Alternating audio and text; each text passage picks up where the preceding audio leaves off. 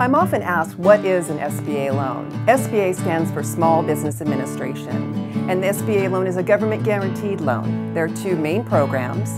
The 7A loan program, which consists of long-term financing to help someone buy a business, start a business, or expand their current business.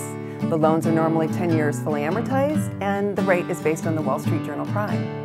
The other program is the SBA 504 loan program. The SBA 504 loan program allows an existing business owner to buy a commercial building where their business will be located. The advantage on the SBA loan program is only 10% down and 90% financing with really low fixed rates. If you have any questions on which loan program is best for you, please call American Riviera Bank.